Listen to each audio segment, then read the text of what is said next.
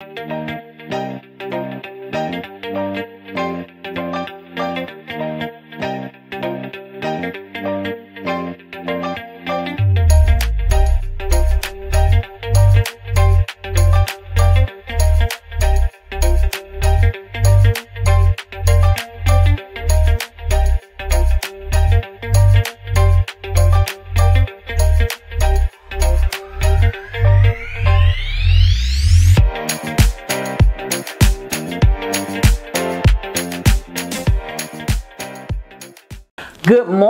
Mahanaim. God is good all the time. God is good. Let's give him a hand praise. Let's just lift up our hands, our heart, mind, and soul. Let us just clap our hands. Let us just sing praises from our heart. Let's just have a, a good time in the Lord today. If you're at your home or your apartments, just lift up your hands, run around, just let go and let God. I give him the praise and the glory. And the scripture I have today is Jeremiah 29 and 11.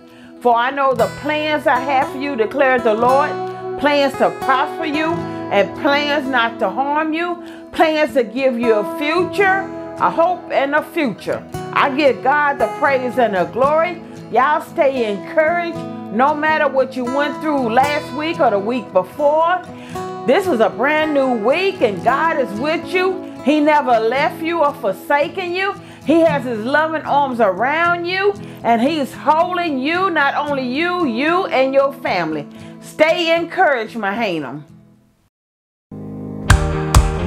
Come on, put your hands together. We're a little fun this morning. I got a band behind me. It's magical, isn't it? Come on, let's go. Heaven thundered and the world was born. Life begins and ends in the dust you form. Come on. And faith commanded when the mountains moved. Fear is losing ground to a hope Unstoppable God, let your glory go on and on. It's impossible things in your name they shall be done.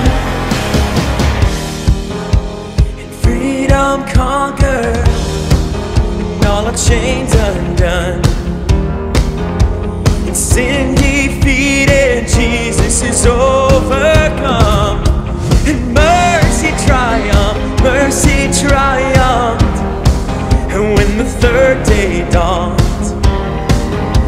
and darkness was denied when the storm was gone. It's unstoppable, God, let your glory go on and on.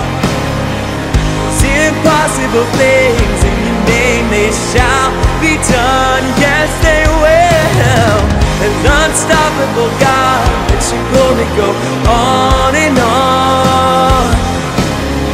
It's impossible things in your name they shall be done. Yeah. Oh, we declare it today.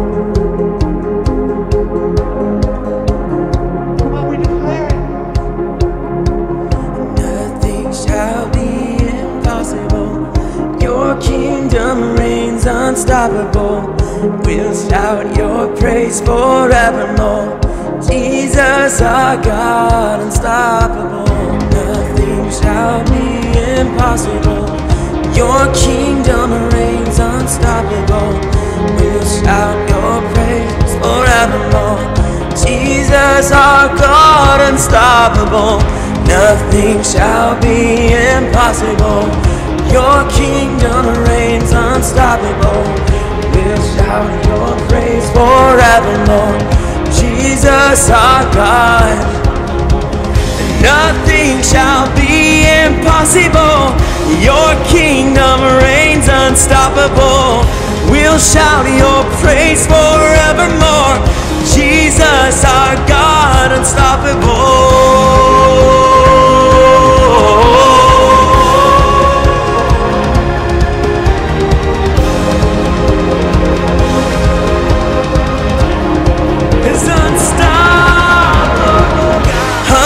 Unstoppable God. Let your glory go on and on.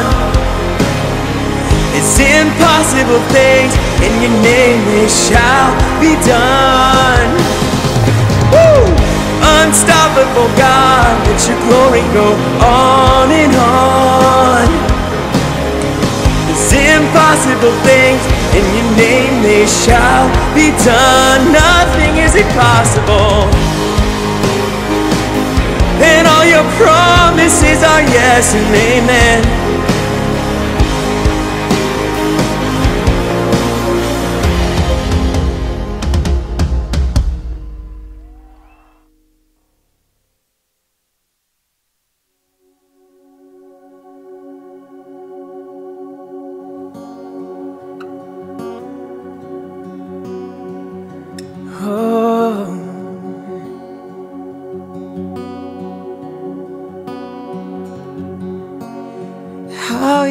Worthy of our praise. How you're worthy of our praise. Is your unstoppable God.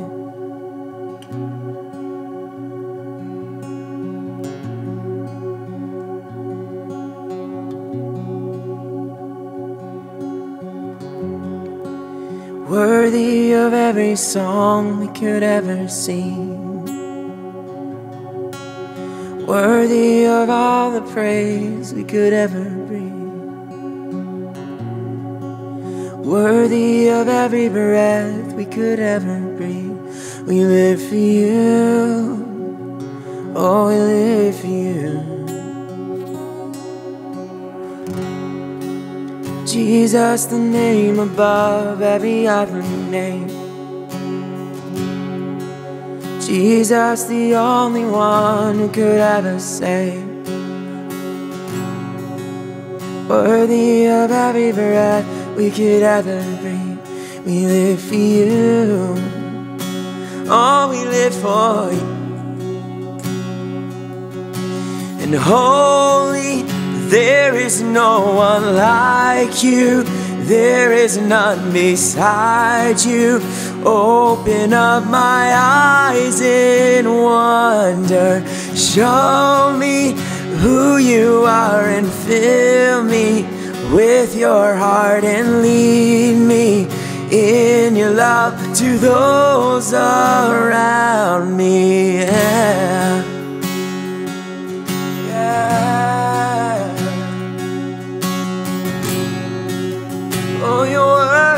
Of our wildest praise.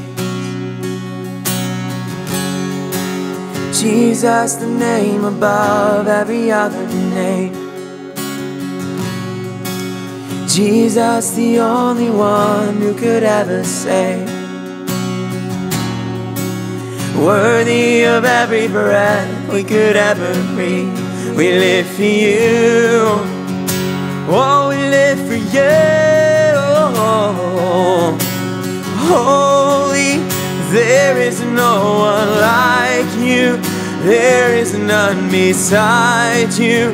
Open up my eyes in wonder. Show me who you are and fill me with your heart and lead me in your love to those all you are holy and holy. Is no one like you. There is none beside you. Open up my eyes in wonder. Show me who you are and fill me with your heart and lead me in your love to those around me.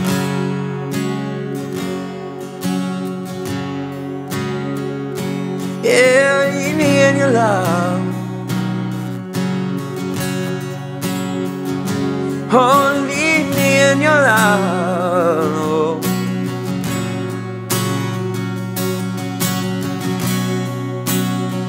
Sing, I will build my life. I will build my life upon your love. It is a firm foundation. I will put my trust in you alone, and I will not be. You are holy, holy. There is no one like you. There is none beside you. Open up my eyes in wonder and show me who you are and fill me with your heart and lead me in your love to those around me. Yeah, lead me in your love.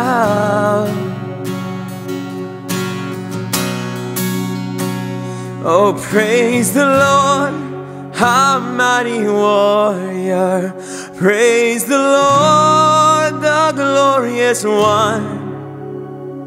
And by his hand we stand in victory, and by his name we overcome. Come on, let's sing that again. Praise the Lord. Praise the Lord who is mighty in battle. Hey, yeah, praise the Lord, our mighty warrior. Praise the Lord, the glorious one. And by his hand we stand in victory, and by his name we overcome. The Lord shall reign forever and ever. The Lord shall reign forever and ever. The Lord shall reign forever and ever. The Lord shall reign forever and ever.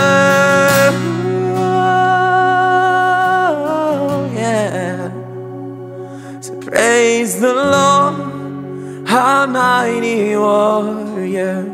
Praise the Lord, the glorious one. And by his hand we stand in victory, and by his name we overcome.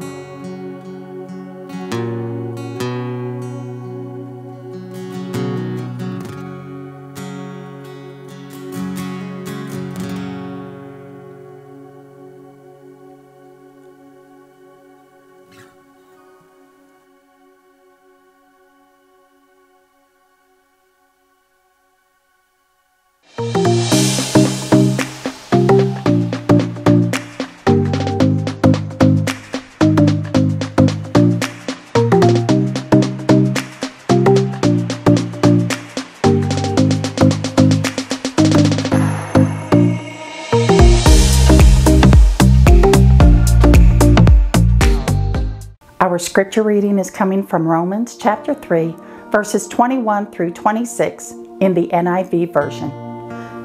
The title of these scriptures is God's Righteousness Through Faith, beginning with verse 21. But now, apart from the law, the righteousness of God has been made known, to which the law and the prophets testify.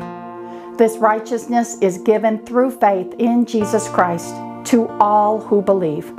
There is no difference between Jew and Gentile, for all have sinned and fall short of the glory of God. And all are justified freely by His grace through the redemption that came by Christ Jesus. God presented Christ as a sacrifice of atonement through the shedding of His blood and to be received by faith. He did this to demonstrate His righteousness because in his forbearance he had left the sins committed beforehand unpunished.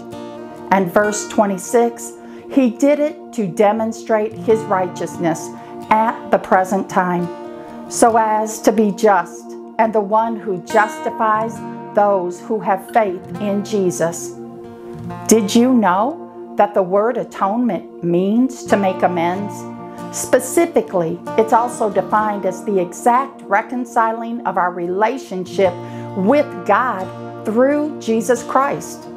God's righteousness is demonstrated in Christ because Christ is the fulfillment of the law and his blood covers all sins.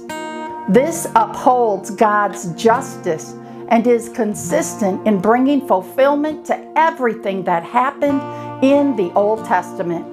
And because of this, we can be justified by grace through faith alone in Christ alone. Grace because it was a gift. Faith in Christ because He is everything, everything suitable to redeem us. He is fully God and fully man. And now, let us take this opportunity to pray. Heavenly Father, we thank you right now. We thank you for in John 3:16 you said for God so loved the world that he gave his only begotten son that whosoever believeth in him shall not perish but have everlasting life. Lord God, we thank you that your grace and your mercy are new every single morning. Lord God, we just thank you that we have been called to be the salt and the light to those who have lost their way.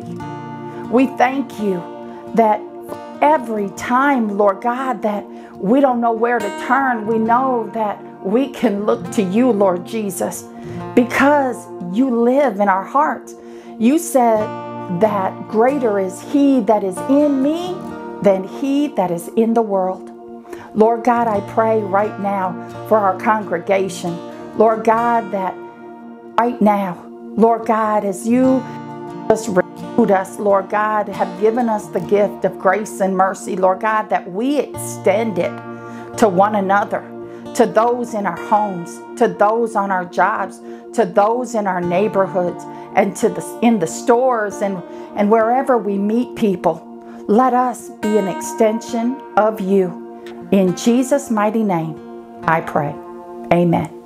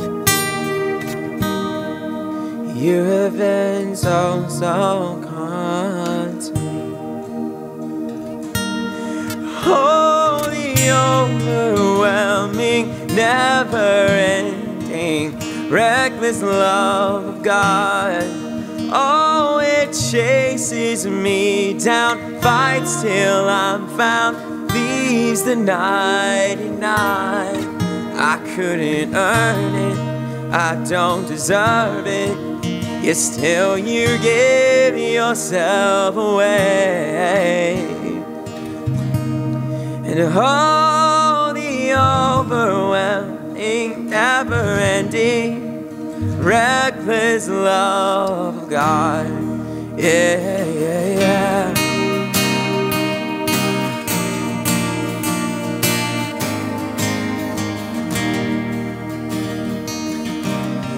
Was your foe, is still your love far from me. You have been so, so, so kind to me. When I felt no word, when I felt no word, you paid it all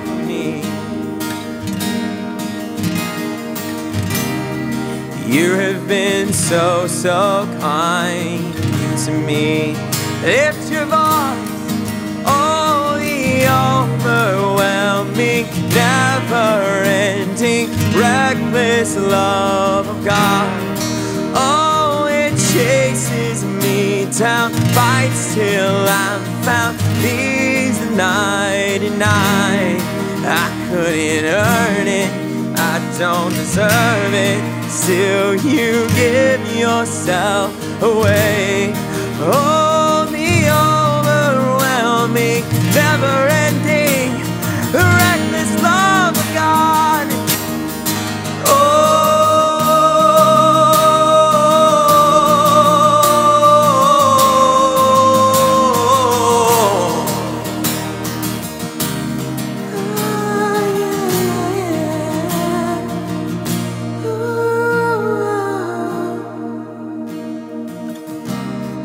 shadow you won't light up, mountain you won't climb up, coming after me. There's no wall you won't kick down, lie you won't tear down, coming after me. Yeah, there's no shadow, there's no shadow you won't light up, mountain you won't climb up, coming after me. Oh, you won't give up. There's no wall you won't kick down, lie you won't tear down, coming after. Oh, there's no, there's no shadow you won't light up, mountain you won't climb up, coming after me in my wandering heart. There's no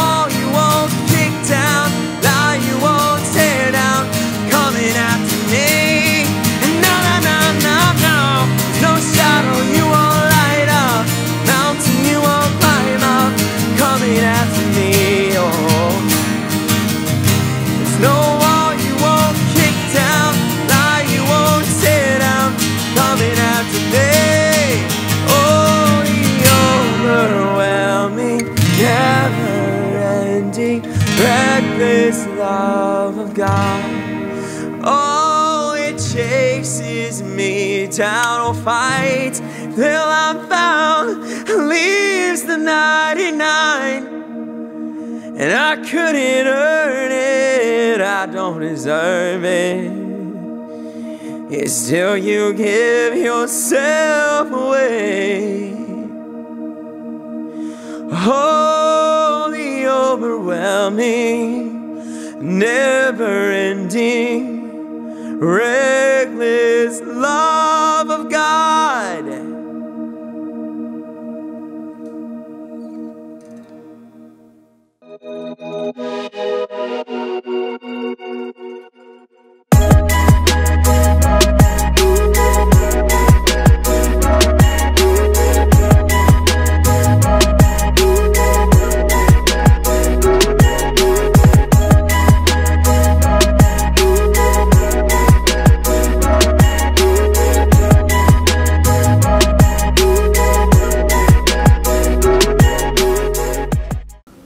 Welcome back.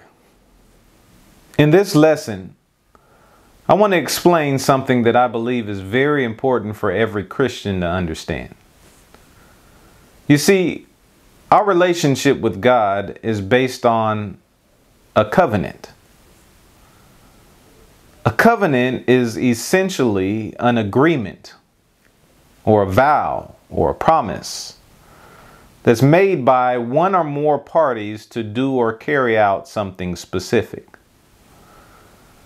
Throughout the Bible, God is seen making various unilateral covenants with men. In Genesis 8, he established a covenant or vow or promise to Noah never to flood the whole earth again. In Genesis 17, God established a covenant with Abraham to multiply his descendants and to be their God. In 2 Samuel 7, the Lord made a covenant with David to establish his kingdom forever through one of his descendants, which we now know was fulfilled through Christ. And there are other biblical covenants besides these. But today I want to focus on two of the most commonly known covenants in the Bible. You might already know them as the Old and New Covenants. As I explained in the last session, these two covenants are essentially what makes up the two major subdivisions of the Bible. Those subdivisions being the Old Testament and the New Testament. Now, understanding the basics about these two major covenants is crucial. If we are to properly interpret what God is saying through biblical text, it's absolutely imperative that we contextualize what was said with the covenant it was attached to. For instance, there are certain things that God said to Israel under the old covenant that aren't necessarily applicable to us under the new covenant. And there are certain things that God has promised under the new covenant that weren't applicable under the old. Beyond that, understanding these covenants enhances our theology. It provides greater depth to our understanding of where we stand as a Christian with regards to our personal relationship with God. When we grasp these fundamental truths, we begin reading and comprehending our Bible in a whole new way. This also provides an important context for certain passages of Scripture, which makes it less likely for us to misunderstand them when we read them. Now let's begin with the Old Covenant. This covenant is also known as the Mosaic Covenant.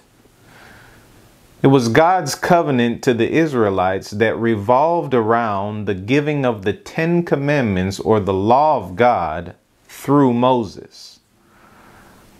Now, much of what you read in the Old Covenant is spoken of in the context of this Old Covenant. From Exodus chapter 20 forward, most of the Old Testament writings deal with God's relationship with the nation of Israel based on this particular covenant. And that's important to note because much of the Old Testament, while it still holds relevance today in certain ways, is not applicable in the same ways to us as it was to those who were under it. When we get to the New Testament, things shift in a new direction. God inaugurates a new covenant between God and man. This is the covenant that we who believe are now under by grace through faith in Christ. So when we place a saving faith in Christ, we actually enter into a relationship with God by this new covenant or agreement or vow or promise. A promise that Christ established on our behalf. The old covenant having been replaced really only serves at this point as a support that bears witness to what God planned to do in the new through Jesus. Now, it's through contrasting these two covenants that we see them more clearly. So, today I want to point out four distinctions between the old and new covenants. And I believe that these distinctions will help you to understand more clearly where we are now. Here they are. Distinction number one the new covenant, unlike the old, is for all and not some. Distinction number two the new covenant, unlike the old, is based on grace and not works. Distinction number three the new covenant, unlike the old, is eternal and not temporary. And distinction number four the new covenant, unlike the old, is administered through Christ and not Aaron. Let's begin. Distinction number one. The new covenant, unlike the old, is for all and not just for some. The old covenant was a covenant made by God strictly and directly with the Israelites. It was not a covenant that was offered by God to everyone.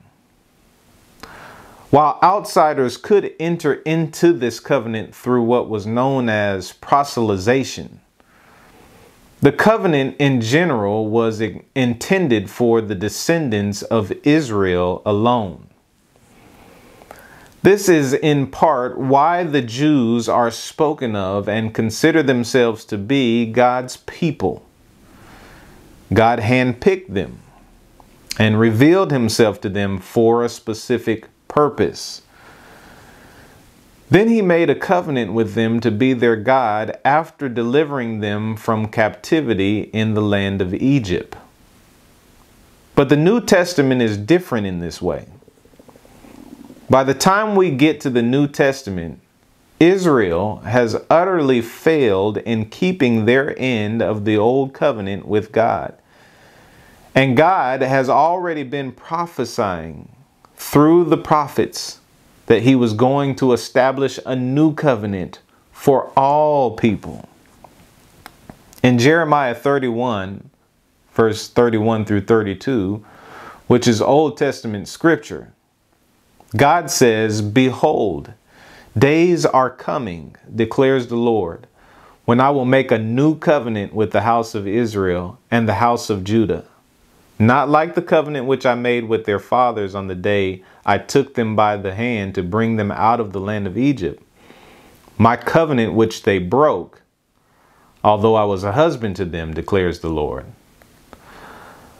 Isaiah prophesied in Isaiah chapter 9, verse 2, also Old Testament scripture, that the people who walked in darkness have seen a great light.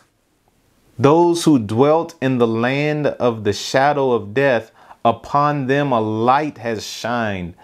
Speaking of how the light of God through Christ would be seen, ushering in this new covenant in places where it had not been before. God was clearly stating here and in other passages that the new covenant that he had planned to establish would not only be for the Jews this time, but also for everyone else. In New Testament text, John chapter 1 verse 11 through 12, it reads that Christ, a Jew himself, came to his own, and his own people did not accept him. But as many as received him, to them he gave the right to become children of God, to those who believe in his name, and trust in him. In other words, the Jews were originally God's people. And God offered this new covenant to them first and foremost, but they rejected it when they rejected Christ. So, what God did in turn is offer it to everyone else, Jews and Gentiles alike. Now, Gentiles are everyone who is not a Jew. And to as many as received it, God gave them the privilege of now being considered not just his people, but his children. And that's why Paul says in Romans chapter 1, verse 16, I'm not ashamed of the gospel, for it is the power of God for salvation to everyone who believes to the Jew first and also to the Greek. Again, it was offered first to the Jews, but it has now been extended to as many as believe. So the new covenant, unlike the old, is for all who believe and not just some. And isn't that amazing news for us? that God has extended the offer of Himself to us in new covenant by faith in Christ. We were once on the outside looking in, but now we're on the inside looking up in Christ. Romans chapter 10, verse 13 says, For everyone who calls on the name of the Lord will be saved.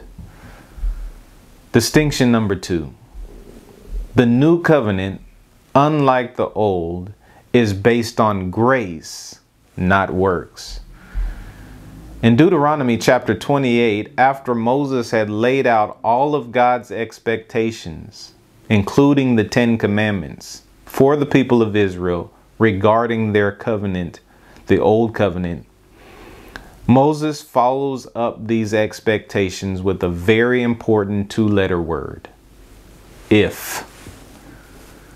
Deuteronomy chapter 28, verse 1, Moses says, Now it shall be, if you diligently obey the Lord your God, being careful to do all his commandments which I am commanding you today, that the Lord your God will put you high above all the nations of the earth. But verse 15 also says, But it shall come about if you do not obey the Lord your God to be careful to follow all his commandments and his statutes which I am commanding you today that all these curses will come upon you and overtake you. In other words, the forgiveness of sin and the goodness of God via the old covenant was based on Israel's works or human effort. And if Israel was to receive God's blessing, they had to do and fulfill and keep all that God had commanded them. If they failed at doing so, God's discipline and judgment would come as a result, and his blessing and favor would be revoked. But under the new covenant, which Hebrews 8 and 6 says is a better covenant and acted on better promises, God's goodness is not based on our works or our human effort It's based on God's grace and Christ's finished work on our behalf. Unlike the old covenant, under the new, God's forgiveness and the promise of his salvation is not based on what we do. It's based on what Christ has already done. Jeremiah chapter 31, verse 31 through 33 says, for this is the covenant which I will make with the house of Israel after those days, declares the Lord. I will put my law within them and write them on their heart, and I will be their God, and they shall be my people. They want they will not teach again each one of his neighbor and each one his brother, saying, Know the Lord, for they will all know me, from the least of them to the greatest of them, declares the Lord. For I will forgive their wrongdoing, and their sin I will no longer remember. Notice that the if yous have been replaced with the I wills. God just simply says under the new covenant that I'm going to do it. And he did do it through Christ. See, the old covenant says if you, if you, if you, placing the responsibility responsibility upon us to have a right relationship with God. But under the new covenant, God says, I will, I will, I will, taking the responsibility unto himself. The old covenant says do, but the new covenant says done for you. So again, the old demanded that Israel work to achieve the blessing. The new simply requires a saving faith in Christ to receive the blessing. The old was grounded in the works of men and required perfect obedience. But the new is grounded in the grace of God and requires only faith. So under the new, we don't have to work for God's goodness and love and salvation. That's old covenant thinking. Under the new covenant, we simply receive it by grace through faith because of the finished work of Christ on our behalf. Now, that doesn't mean that we live any way that we want, but it does mean that we are fully forgiven and therefore free to live in obedience to God, free from the fear of condemnation when we fall short. God's love for us through Christ and the new covenant is unfailing, even when we fail to measure up. Number three, the new covenant, unlike the old, is eternal and not temporary. In fact, Paul teaches us in Romans that the old covenant was really just God's way of showing us our need for what he planned to do through Christ with the new covenant anyway. It was all part of God's sovereign plan. The old covenant can be viewed as a temporary stepping stone, only meant to raise our understanding to a place of being able to see our need for the new. Hebrews chapter 8, verse 13 reads, When he said a new covenant, he has made the first obsolete, speaking of the old covenant. But whatever is becoming obsolete and growing old is about to disappear. In other words, the old covenant that God made with Israel alone, which was based on works and human effort, is now outdated. With the institution of this new covenant, which is based on grace for all who believe, both Jew and Gentile, the old has officially passed away. You see, the old was temporary. It was based on temporary things, temporary sacrifices, extending temporary blessings. But the new is based on the eternal. It itself lasts forever and it offers within its parameters the eternal spiritual blessing of God, including the forgiveness of sin and eternal life. Hebrews 13:20 says, "Now may the God of peace, who brought up from the dead the great shepherd of the sheep through the blood of the eternal covenant." Speaking of the new covenant, it is eternal. It will never fade.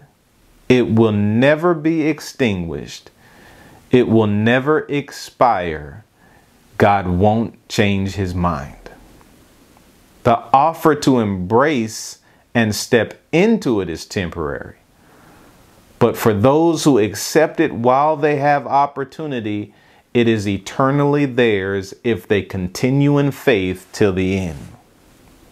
And number four, the final distinction between the old and new covenants is that the new covenant, unlike the old, is administered through Christ and not Aaron. You see, the old covenant included within its guidelines an entire sacrificial system, and with it, a specific priesthood.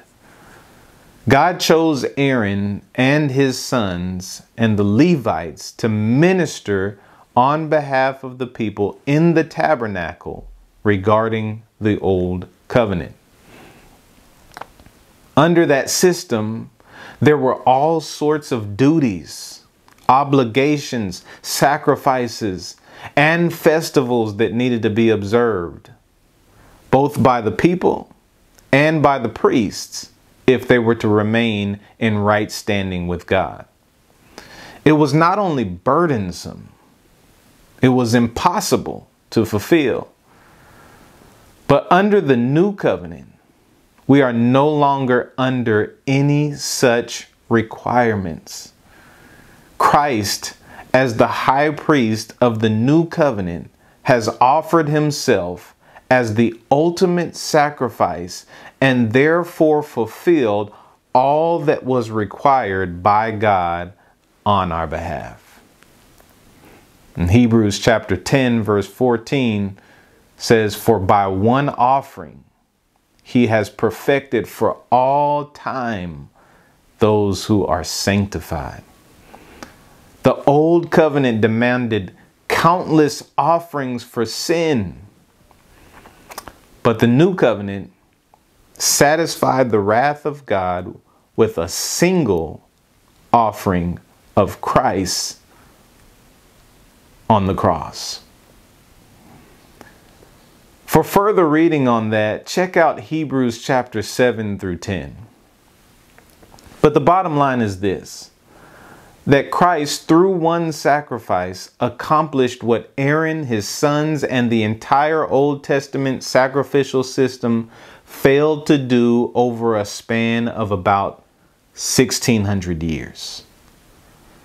Thanks to him, we are not only fully forgiven forever, but we are also free from the harsh requirements that were demanded by the works of the law, the Old Covenant, and its entire sacrificial system. Now, as we close out today's lesson, hopefully you can now identify the basic differences between the Old Covenant that Israel was under and the New Covenant that Christians are now under in Christ. I also pray that these differences or distinctions would stimulate you even further with love, appreciation, and obedience to God. As you understand more and more the blessedness of this new covenant with God through our Lord Jesus Christ. One more time before we go. Number one, the new covenant, unlike the old, is for all and not some. Number two, it's of grace and not works. Number three, it's eternal and not temporary. And number four, it's of Christ and not Aaron.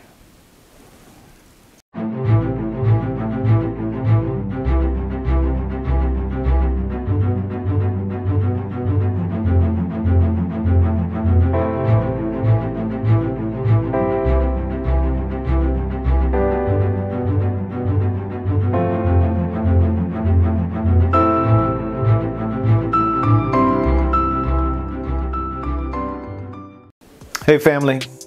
Praise God for another wonderful Sunday service. But before you go, I just wanted to make a few quick announcements. Next week is Resurrection Sunday, and we'll be serving communion. If you'd like to participate, we'll be handing out communion cups for you and your family to use this Wednesday, April 31st from 6 to 7 p.m. at MCF. If you'd like to pick them up, swing by. Once you have them, hold on to them until Resurrection Sunday service when we'll all take it together. Lastly, life groups are almost underway. Be looking forward to those to begin very soon. That's it, MCF. Have a wonderful week in the Lord. Can't wait till we can see you guys again in person. God's love.